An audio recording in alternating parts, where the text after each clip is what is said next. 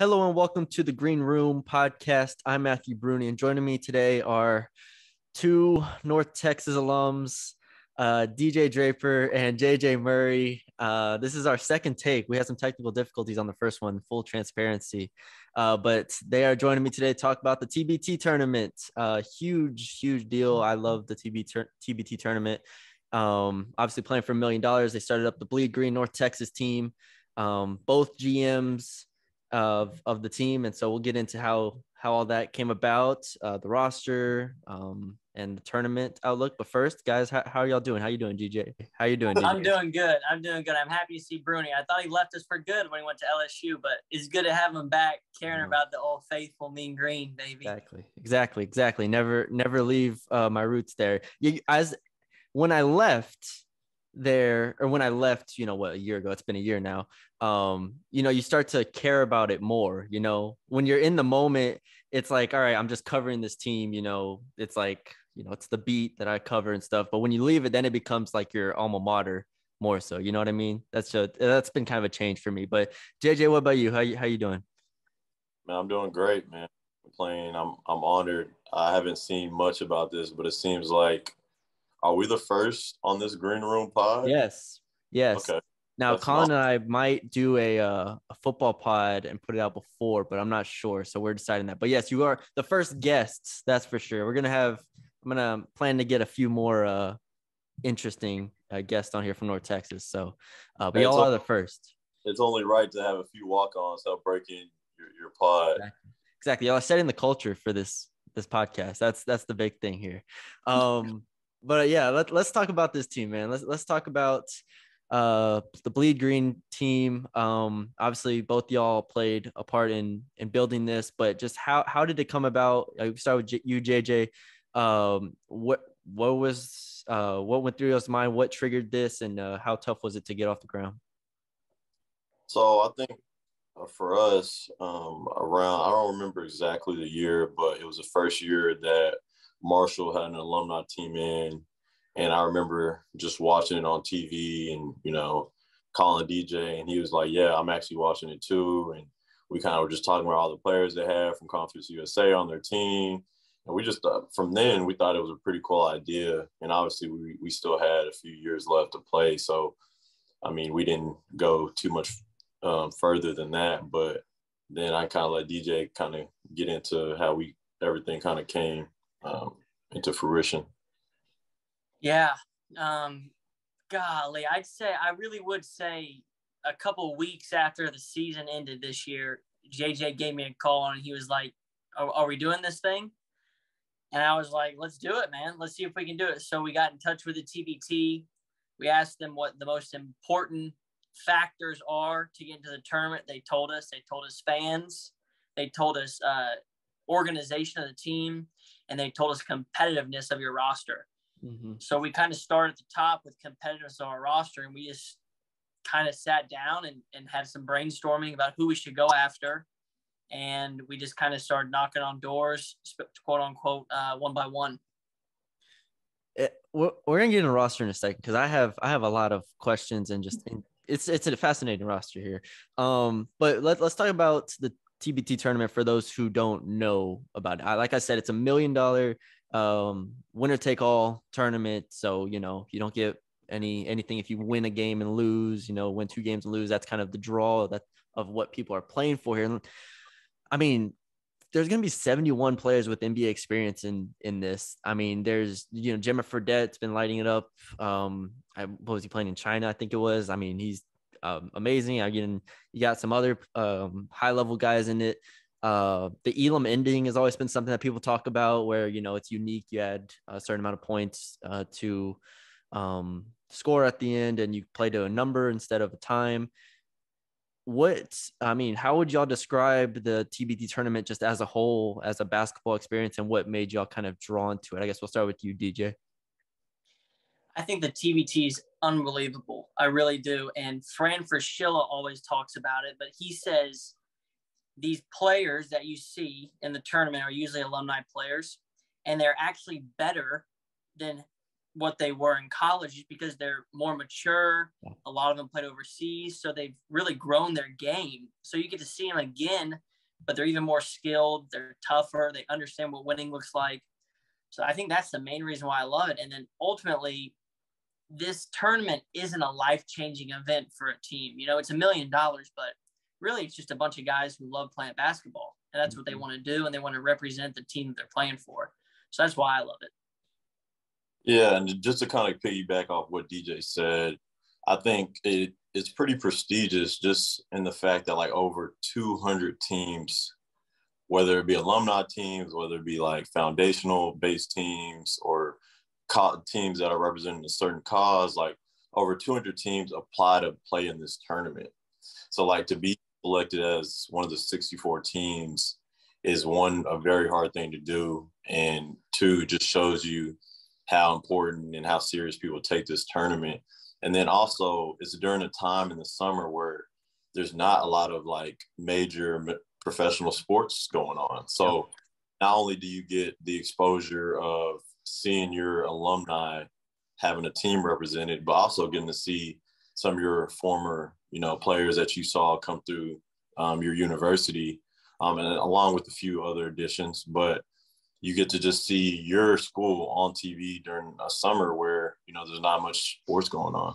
Yeah, no, exactly. That's why I watch pretty much every year. It's just it's all, all all I have at that point. You know, you find your favorite teams, you can go from there. Um, now you you mentioned JJ, you bring up uh, that how how many teams there are that apply to be in this, and um, DJ mentioned that you know it's about competitiveness roster, it's about fan base, all this stuff. What like how did y'all check those boxes and were y'all getting feedback from them? Or was it just like all right this is our team here's our application you know and then you waited? Or just how did that play out? Yeah, so obviously what DJ said earlier, we reached out because before we started this deal, I mean, we didn't there's and that's one another thing to note. There was no guarantee that we were going to get selected to play in this tournament, like none. So for us, it was when when we reached out to them and kind of gauged their interest, we wanted to see if we had any shot of getting in, and we kind of gave them our pitch, gave them our story, and then from there they gave us the steps. And so that's where what dj talked about competitiveness reliability fan base. Um, and so for us we had to try to leverage each one of those those deciding factors and match kind of match that with our story. And then after talking with mac and and Wren and getting their um, approval we kind of just sat down and you know we had our story what we were going to pitch the recent success we've had, the um, of North Texas basketball, yeah. and kind of just went from there. Yeah, I'm, I'm sure the tournament win and you know the, even the success last year helped um, get y'all's name out there. Now, DJ, you talk about knocking on doors and figuring out who's going to be on the team. Um, I'm assuming, I mean, I don't know how you get this group of players because, like you said, I mean, some of them played in North Texas, obviously. Uh, you know, Zach Simmons, Thomas uh, did, and but then you have to find other players as well. What was it like figuring out like, all right, this guy could be a candidate. This guy, you know, maybe we call him, see see if he's interested. I mean, um, I know, for instance, Murphy Holloway and uh, Shannon Shorter both played in the TBT before, so maybe that did something. But what what was that like? So when we sat down and started formulating who we wanted to go after, there was one guy that we said we have to have this guy on our team. We have to, and it was Shannon Shorter. And we wanted to go after him because he's had recent TBT experience. He's a certified professional ball player. And we think that it's a great opportunity for him to kind of give back to the university, which he loves so much. You know, he, there's been multiple times where he's come to practice, come to games, come to our locker room, and just kind of told us what it's like, how to make it to the top, um, coming from North Texas. So we knew he'd be a huge asset. And then once we got him locked in, we really just tried to build around him, got some other really good pieces, and just went from there. I mean, there was no player that went to North Texas or in the DFW area that we did not take a look at. Uh, it was a lot of long nights, a lot of early morning phone calls from me and JJ. Not look, not just take a look at, but there's not one of those players we didn't reach out to and offer or gauge interest. We reached out. We reached out to all anybody that you're thinking of in your head right now, Bruni. We probably reached out to. I, I I'll, I'll get into a couple a couple players in in a bit here, but I want to talk about y'all y'all's role here because I've been, I was trying to figure it out. Initially, I didn't know if y'all were playing, and then I checked the rosters and DJ, you're playing right, and JJ, you're you're not correct. I, I mean, I mean, we we have this conversation probably three or four times a week. I mean, with this thing, if if all the guys that we have that are expected to show up show up, then we will not be participating. Okay. Okay. So okay, that's I was just looking at the roster and I was like trying to figure out how we were doing this. Um, but all right, I want to start with the coach. You don't you don't think JJ played enough, man? He, he's been here seven years.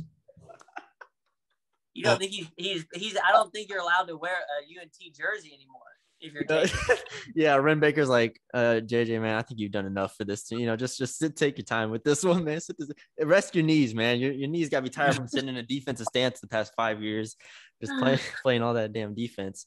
Um, all right, I want to start with the coach because uh, when this was announced, I made a pitch to be the coach, and it fell obviously on deaf ears. Y'all did not select me to be the coach. Um, all right, let's just start with that. What, why was I not qualified to be the coach here? I've I have plenty of uh, basketball knowledge here, and uh, I, am friends with y'all. Apparently, like that should have been enough. Clearly. Jay, go, go, ahead. I'll let you take ahead. this reply. Yeah, go ahead. Somebody reply. uh, I think what what we think of a basketball coach, Bruni. You don't think of five eight Matthew Bruni coming up coaching you? That's crazy. Hey, if Matt if Matt can do it at five eight, you can do it at five eight. I mean, since look, given your, your your public resume, Bruni, we can only go off some of the things that we've seen you tweet in the past, and we just didn't think that that was going to be good enough for us to be competitive in this tournament. All right, my tweets are coming I mean, back to bite now. All right. Look, you're not a fan of, of, the charge, and we don't have a lot of shot blockers on our team, so that may be something that we have to do. Just that it's not a it's not a good match. That's a good point, actually. You know, I didn't think about that one. All right, I'll give you that. Uh, but in, in all seriousness, Andre Shaw, director of basketball operations of North Texas. Um, I mean, what what went uh what went into it? I mean, what's y'all's relationship with him, and uh, just you know how, how excited is he to to do this? He's he's awesome, Bruni. I mean, he uh he's gonna be unbelievable for us. When we were talking about coaches, we were we were thinking really hard and JJ said I got the perfect guy, and he kind of brought up Andre Shaw, and I'll let JJ take from here, but I really think he's going to be good for us. Yeah, you know, I've been fortunate enough to be around him the last year, um, and you know, he he is our ops guy, but he's more than capable being on the court. Um, if that was asked of him, and you know, he spent some time at in JUCO and D two as an assistant coach, so you know, he has some in-game experience and he's spent some time training with Tim Martin. And Tim Martin trains a lot of professional basketball players. So we feel like he'll be able to communicate, you know, you know, grown men. So um, we're we, yeah, we're excited. We think we think he's ready to go, and we're gonna add some some guys around him. But you know, he's the he's the top dog. Yeah.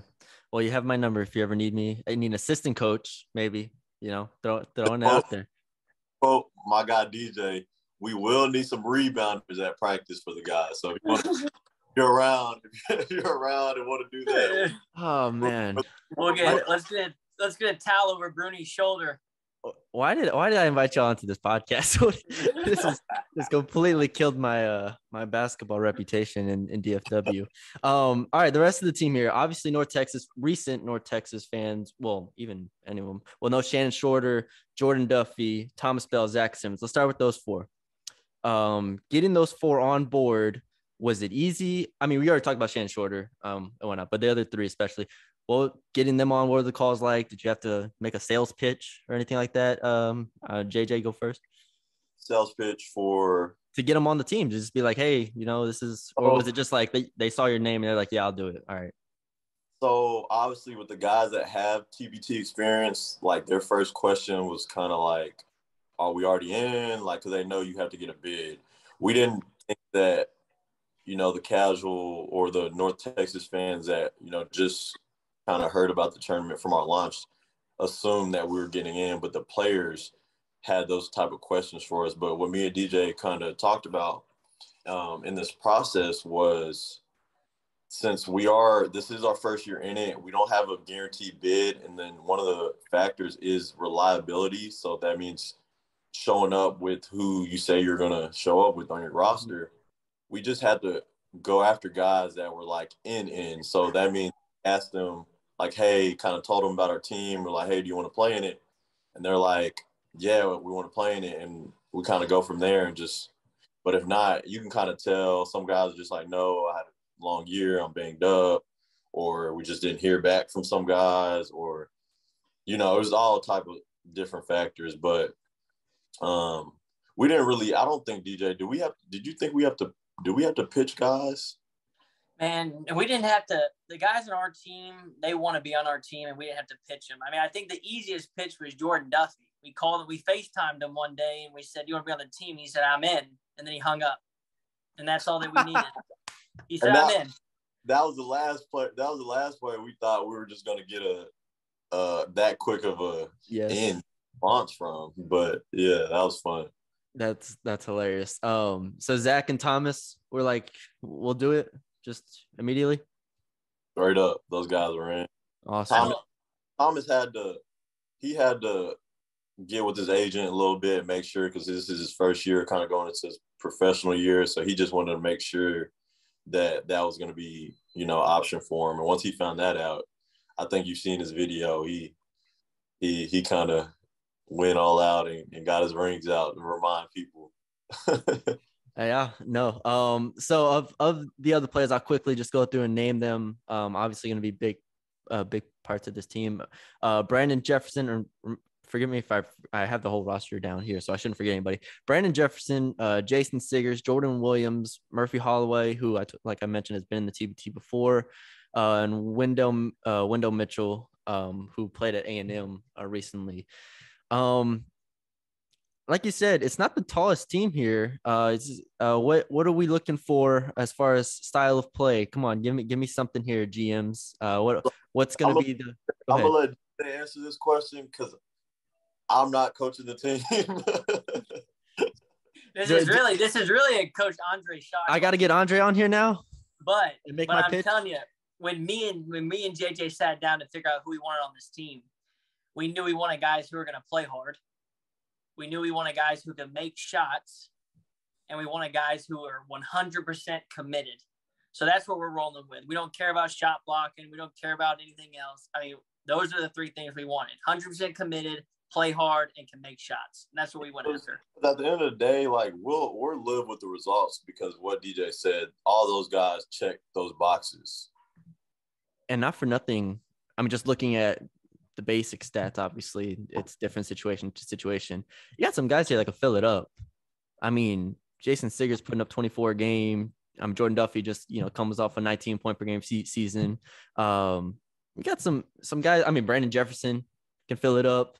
So um, I'm, I'm excited to watch from that perspective as well. And then, you know, a lot of pressure, you know, Zach Simmons at 6'10 to fill up. But it is, a, I'm watching the TBT and year after years, and even looking at um, the first round game against uh, Drive, um, nobody out here is sitting, rolling out like, you know, seven footer and a 6'10 guys like their front court. You know, it's usually like this it's like a 6'10, 6'8, 6'10, 6'7, and you kind of go from there. And yeah, and there's only five guys that can be on the court at once. And like DJ likes to say, there's only one ball. so, I mean, we, for us, it, the fun part about this was us getting on the phone with our, you know, our former assistant coaches, Matt or Raj and Maddie B and Ring, like, you know, getting on the phone with them, getting their thoughts on our roster as we were kind of going through this. Cause obviously they have a lot of experience building rosters. And the the funniest part was like them laughing at us because we're like on their in their shoes yeah. and like they like seeing the value of like having guys that can play multiple positions. Mm-hmm. Don't exactly, you know what I mean? That just are versatile. Yeah, help when you kind of you kind of once you're building a team, you kind of see why that's valuable, you know, because you can do so much with the uh, basketball team. Yeah. Um. All right, I, I got to ask here. Uh, both Javion and James Reese tweeted eye emojis, eye emojis. Y'all know, y'all are the same age as me, damn near. Y'all know what that means. When I see that, I'm like, all right, we got him. We got him here. Um, now, obviously, their situation with both Javion is obvious, and and Reese are both, you know, looking to play professionally or whatnot. Uh, was it just like, you know, this it's it's would be we can't risk our our primes like this, or what? What was the situation? Whoever I'll wants let- to jump in on it. I'll let DJ answer. All right, go ahead. So it, it's really tough because, like you said, these guys want to play professional ball. And depending on the time of the year, how their bodies feel, where they think their games are, it might not it might not add up. You know, it might not be a good situation for them. And I think that's just kind of what it came down to. Um, you know, they they said that they were interested, but it was just one of those things that I don't know if at that at this point in time it's the best thing for him to be a part of. Yeah. Um, one more I'll throw out there. Mike Miller is teammates with Zachary Simmons. Uh, was there any was there any contact with Mike? Yes, there was. I'm Bruni. I'm telling you, there was contact with everyone that you're thinking of. There's been contact with them, every one of them. I'm serious, and it's just one of those things that like Mike just got back from a long season. Yeah. You know, he's got he's got plans. I mean, it's not all ball all the time for these players. So Yeah. finding guys who want to compete, it's not because they don't want to compete. It's just because they might have other things going on. So that's where it's it's tough. Yeah. No. Look, definitely. Brody, if it was, we talk about this all the time. If it was up to us, we would have rolled out there with an all, possibly an all UNT team if we I- could. You know, if we if we could, Brody, but you know, like dude. I mean, that just wasn't pop. That just wasn't possible, which you know sucks. But we had to, we had to look at it as of this isn't about one player. This is about North Texas. So we had to, and then for us, the the TBT sake, we had to have a roster to be considered. So we couldn't wait out for anybody. We couldn't really do that. And so, I mean, you know, we would love to have those guys, all those guys you mentioned, we would love to have on the team. But at the end of the day, it's it's not up to us. Yeah. Oh. circumstances. Yeah. No, I mean, I, I had to ask because if if I wouldn't have asked, I don't think I could have put this podcast out because North Texas fans have been like, "What the hell am I listening to this for?" You didn't even ask why J why Javion and Reese and Mike aren't on these teams. So No, it's a good question. And it's hard because what we were doing is we were asking players to commit to something that they don't know what it they don't know if we're getting in. They don't know what this really means. Yeah. They don't know really what position they're playing. They don't know what type of role they're gonna have. And so it's hard and it's nothing personal, but it just sometimes doesn't add up. For, for some guys, it's just not in their best interest. no, yeah, I mean, hundred percent. It makes complete sense. Um, in in situations, and not for nothing. I mean, you get um as much as I would love to have an All Star team from North Texas, twenty sixteen to twenty twenty, and uh, as well as Shannon Shorter, obviously. As much as I would love that, it's great to have um you know Murphy Holloway that has TBT experience. It's great to have experience a couple like you know thirty plus year olds on here that can bring that grit, bring that experience that have played in uh, high leverage games before. I feel like that's a great blend. Y'all, I'll give y'all credit here. Y'all, a great blend of ages, experiences, you know, um, and different types of players um, that on this team. So, good job. This is this is a good first uh, roster y'all y'all put together here. So, congratulations. All I'm gonna say is that is we'll we'll see you on July 22nd. Yeah, I, yeah, yeah. We uh, might not, might not. My tweets might not, might not. Uh, aren't, aren't aren't on paper. We don't, we, we ain't on paper guys, but we we were results guys. So that's that's what we're hoping to get out of this. It's true. All right, let's talk about let's talk about the Wichita region, uh, which is where y'all be playing. Um, Bleed Green will be playing, and uh, July 22nd to 25th is the regional. Uh, you got a seven seed. Now, I was honestly expecting an eight seed going into just because it's your first tournament. I was like, I, I don't know, just they're gonna throw them against like uh, overseas elite isn't in this tournament, right? But I was like, they're gonna throw them like overseas elite, and it's just gonna be over. It's your first tournament, like I, seven seven seeds is good. That's really good. Uh, D- DJ, what do, what do you think? Were you, do you think that's fair? I think it's more than fair.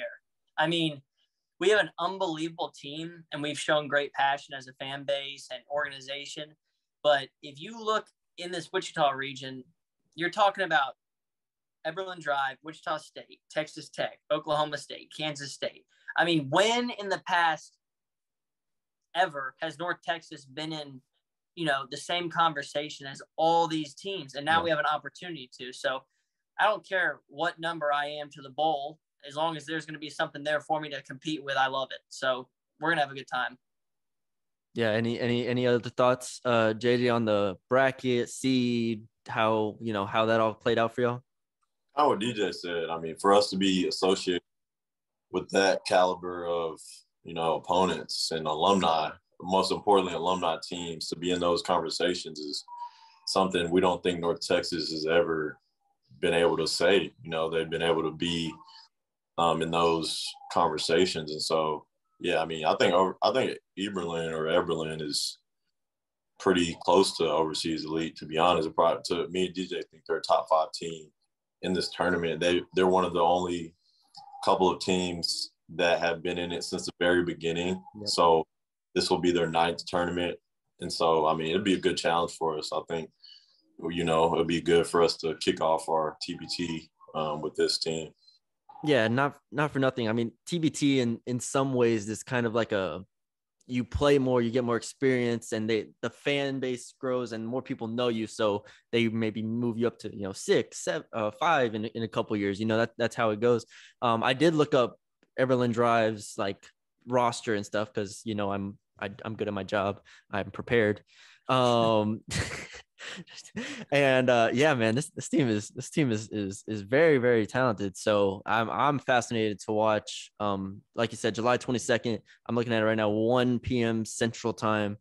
Um, we got some time until then, but I think this was uh, good to let people know. Now, the one question I have to end with here is this something you want to continue in years to come or is this more of like a one year trial or is this like a you know we're just going to get these guys here for one year and then you know wrap it up or how do y'all see this going in, in the coming years if, if you want to continue it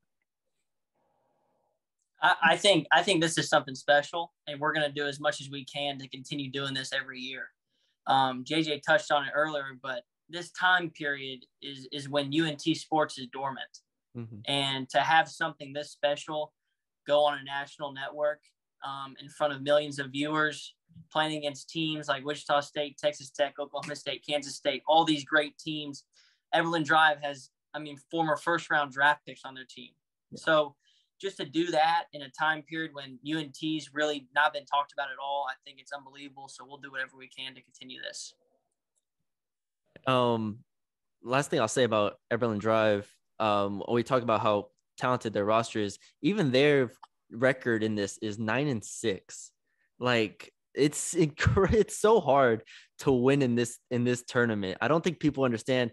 And like just to make a second or third round, you see like the the Syracuse team, right? The Ohio State teams, like that have been doing this for years, years, years, finally start to break through because those early years it was like overseas elite, it was like you know the the big team, like the TMT teams and whatnot. Now we're starting to see some of the alumni teams build that foundation. And I think that's you know possibly what y'all y'all could do here as far as just building it and grow. And you know, it doesn't have to be all North Texas players. You know, you can have five North Texas players and you know build the rest of the roster around them as years come. But JJ, this is something you you, you want to do in in the coming years as well.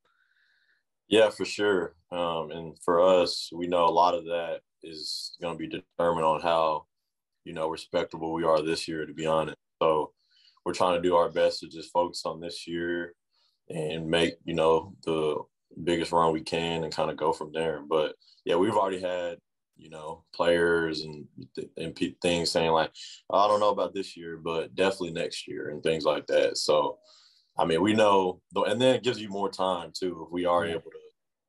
I mean, we we kind of did all this in like a few a couple months, which you know was pretty tough to kind of pack pack in. But yeah, if we can, you know, have a not a guarantee, but have a good feeling that we'll be able to be in in these next few tournaments, I think that's something we'll definitely be interested in.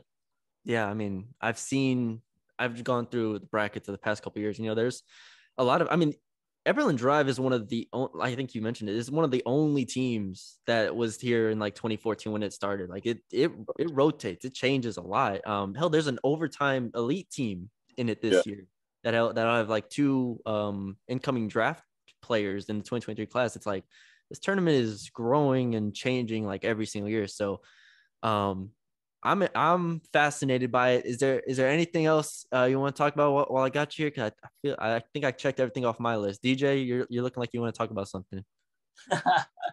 come July 22nd. Come support us. Kansas. unbelievable opportunity. Come support us. Yeah, yeah. Bring bring everybody. Bring everybody. We'll we'll take care of you. Y'all y'all come down and come watch us. Uh, Bruni, you got any advice though? We need some advice on the Elam ending. How do you think we should Jay, play it? DJ, last time I had you had you on a podcast, you gave Colin and I advice about our men's league. Do you remember that? Oh gosh. You, you said you said I think I'm trying to remember what they were off the top of my head. It was like huddle, you know. It yep. was drink Pedialyte. Okay. And it was I don't know what the third one was, but it was something along those lines. Was, uh, so yeah, we ended up going one and nine in the men's league that year. So your advice was not too helpful, unfortunately. Hey, um, hey, the huddling, you know, down you can only huddle so much down 35. I just Bruni, Bruni, I hear this a lot from Coach Hodge and Coach Ream. It's not about the X's and the O's. What is it about, JJ? Hey, Jimmy and the Joes. See, see, y'all are G, see y'all are GMs now, so y'all are like, yeah, it's not on us. It's it's the players now. We've done our job. We've done At the end of the day, if you can't put the ball in the hole, nothing else matters. Yeah, yeah. I know, I know, I know. Um, we haven't been in men's league since though. But hey, if, if we're if we're ever living in the same area code, man, well, we're gonna have a nasty men's league team one day, and y'all will see. y'all will see what I what I can do on the court one day. One day it'll happen. Oh man, we but, know what it's like to recruit some players, so we hope you reciprocate it like we did. Of course. um, but yeah, no, I don't have any advice, man. This is gonna be a lot of fun. I'm looking forward to it. Like I've watched a lot of TBT in you know the past eight years. Like you said, there's not a lot going on, so it's kind of just like, hell, I'm I'll watch this. I'll watch. Hey, um, now dog in the fight, Bruni. Exactly. Now we have now we have a dog in the fight, and uh, I'm excited for it. July 22nd, 1 p.m. Central Time, Wichita region. Um, you know, North Texas already beat uh, Wichita State once this year or once last year. And so uh, we'll see if they can um, come out the region again. But guys, uh, thank y'all for joining me, man. This was a lot of fun. We'll we'll have to do this uh, again sometime. Bruni, before we get off, you're you're not you're you're a fan, right? Are you going to be critiquing our team in this tournament? Yes, hundred percent, one thousand percent. Just so we know what to expect, because we don't want to get on there and be like, "Man, JJ and DJ don't know how to put together a team." no, that's no that nobody's safe right now, man. If I if I see it, I'm tweeting it, man. This is North Texas. This is still uh, just a tangent, but obviously a lot of my followers are still North Texas fans. So it's like every time I tweet about North Texas, like you know, a couple times here and there, it's like they're my most liked stuff, and so it's just like, all right, now we have North Texas podcast back. We're bringing we're we're back, uh, rebranded and everything, and we got y'all on to start it, man. This is this is great. So, um, yep. man, thank thank y'all for joining me. Um, we'll do this again soon. Uh, if y'all listening on the podcast, leave a five star rating and review. If you're watching on YouTube, subscribe. Um, yeah, man, we'll, we'll have these guys like do our intro. Remember, DJ, remember when you did the intro for us a couple years ago?